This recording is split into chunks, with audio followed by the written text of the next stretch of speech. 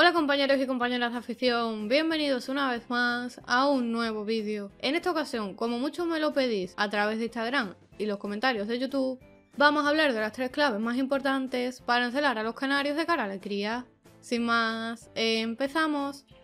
Para encelar a los canarios, los creadores utilizan diferentes técnicas y protocolos de cría con el objetivo de aumentar el celo de los canarios para que lleguen fuertes y encelados a la cría. Pero principalmente hay tres claves importantes que debemos reunir sí o sí para encelar a los canarios correctamente. El primer factor a tener en cuenta si queremos encelar a los canarios es el fotoperiodo, que consiste en el aumento progresivo y constante de las horas de luz en el aviario, o lo que es lo mismo hacer que los días sean más largos. No obstante, este aumento de las horas de luz no hay que hacerlo de un día para otro, sino que como os he comentado hay que hacerlo de manera gradual, especialmente si utilizamos luz artificial en el aviario, ya que si aumentamos de manera repentina las horas de luz, los pájaros se podrían estresar y podrían aparecer problemas incompatibles con la cría, como por ejemplo que comienza en la muda.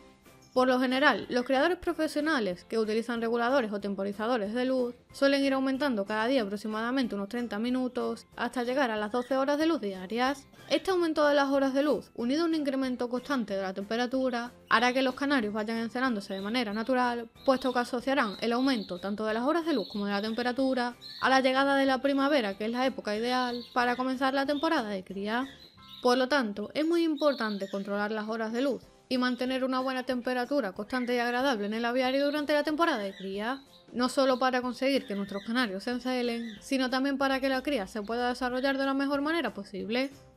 El segundo punto importante que hará que los canarios se vayan encelando de cara a la temporada de cría es la alimentación, y concretamente el aumento de la cantidad y variedad de alimento diario que le aportemos a los canarios. Esto se debe a que durante la primavera los canarios tienen a su disposición en su hábitat natural muchas semillas de diferentes tipos e incluso tras las lluvias primaverales también tienen a su disposición pequeños brotes de semillas, algunas frutas y verduras y pueden acceder con facilidad a una gran variedad de alimentos con los cuales se aseguran que pueden sacar a sus crías adelante, lo que favorece la aparición del cedo de los canarios. Por este motivo sería interesante que durante la temporada de cría le aportemos a los canarios una gran cantidad y variedad de semillas, como el negrillo, el cañamón o la perilla blanca, que como vimos en vídeos anteriores del canal, son semillas que favorecen la aparición del celo de los canarios. Aprovecho y por aquí arriba y debajo en comentarios te dejo el vídeo en el que veíamos cuáles son las mejores semillas para encelar a los canarios. Además, aparte de las semillas, debemos completar su alimentación con otro tipo de alimentos que ayudan a estimular el celo,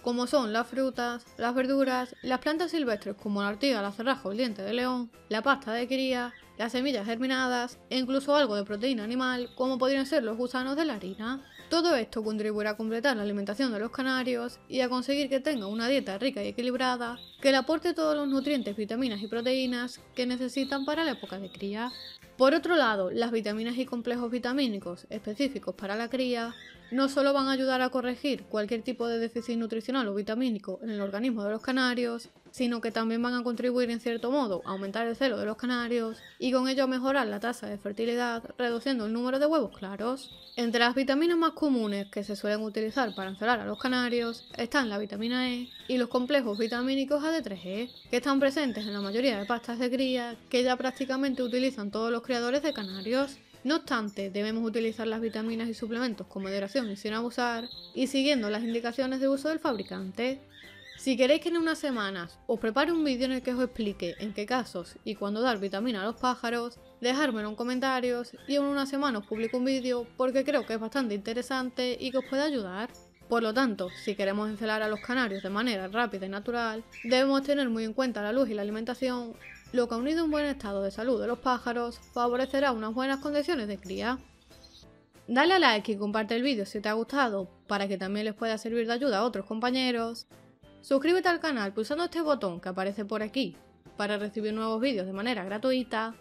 Por aquí te dejo más vídeos relacionados con la cría de canarios y como siempre les espero en el próximo vídeo.